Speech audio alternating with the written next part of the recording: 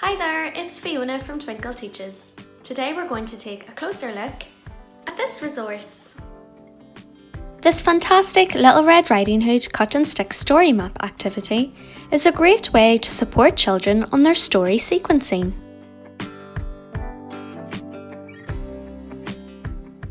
Children could begin by discussing what is happening in the various pictures.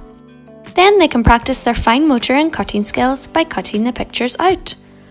Alternatively, an adult could prepare this step beforehand.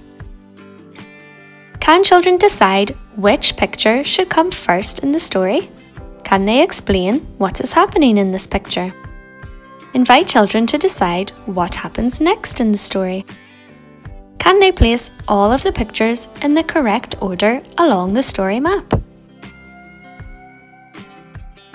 You could develop this activity by swapping some of the pictures around. Can children spot which events are in the incorrect order? You could make this activity a little easier by giving children a smaller selection of pictures to put in the right order. Can children use their story map to aid a retelling of the story? For lots more Little Red Riding Hood resources and teaching ideas, head to the Twinkl website. I hope you found that useful and I'll see you again soon. Bye!